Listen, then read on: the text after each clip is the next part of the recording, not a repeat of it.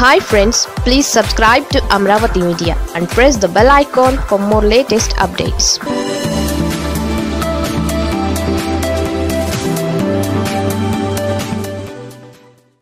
Badvel ఉప ఎన్నిక ఇప్పట్లో లేనట్లే.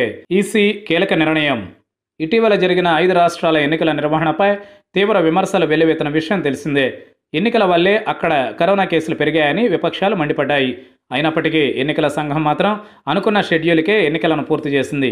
అయితే ప్రస్తుతం కరోనా తీవ్రత పెరగడంతో ఈసీ కీలక నిర్ణయం తీసుకుంది. దేశవ్యాప్తంగా పలుచోట్ల జరగాల్సిన ఉప ఎన్నికలను వాయిదా వేస్తున్నట్లు ప్రకటించింది. దేశంలో కరోనా పరిస్థితులు మెరుగుపడే వరకు ఎన్నికలు నిర్వహించబోమని స్పష్టం చేసింది. మళ్ళీ సాధారణ పరిస్థితులు నెలకొన్న తరువాత ఎన్నికలు నిర్వహిస్తామని తెలిపింది. దేశవ్యాప్తంగా పలు కారణాల వల్ల మూడు లోక్సభ స్థానాలతో పాటు ఎనిమిది అసెంబ్లీ స్థానాల్లో ఉప ఎన్నికలు జరగాల్సి ఉంది. కేంద్రపాలిత ప్రాంతం దాద్రా నగర్ హవేలీ మధ్యప్రదేశ్లోని ఖండ్వా హిమాచల్ ప్రదేశ్లోని మండి లోక్సభ స్థానాల్లో ఉప ఎన్నికలు జరగాల్సి ఉంది.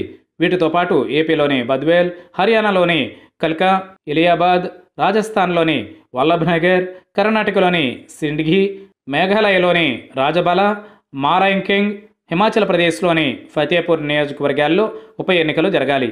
ఈ ఎన్నికలకు కేంద్ర ఎన్నికల సంఘం ఇప్పటికే నోటిఫై చేసింది. అయితే ప్రస్తుతం మన దేశంలో కరోనా సెకండ్ వేవ్ విజృంభిస్తున్న నేపథ్యంలో ఈ ఉప ఎన్నికలను వాయిదా వేసింది ఈసీ. ఆయా రాష్ట్రాల నుంచి సమాచారం తీసుకున్న తరువాత పరిస్థితిపై సమీక్షించనున్నారు. ఆ తర్వాత పరిస్థితులకు అనుగుణంగా తగిన సమయంలో ఎన్నికల నిర్వహణపై నిర్ణయం తీసుకుంటామని ఎన్నికల సంఘం వెల్లడించింది.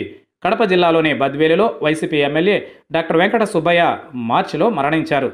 అనారోగ్యంతో ఆయన కన్నుమూశారు ఈ నేపథ్యంలో బద్వేలలో ఉప ఎన్నిక అనివార్యమైంది. కాగా ఇటీవలే ఏపీలోని తిరుపతి లోక్సభ స్థానానికి తెలంగాణలోని నాగార్జునసాగర్ అసెంబ్లీ స్థానానికి ఐదు రాష్ట్రాల అసెంబ్లీ ఎన్నికలతో పాటే ఉప ఎన్నికలు జరిగిన విషయం తెలిసిందే.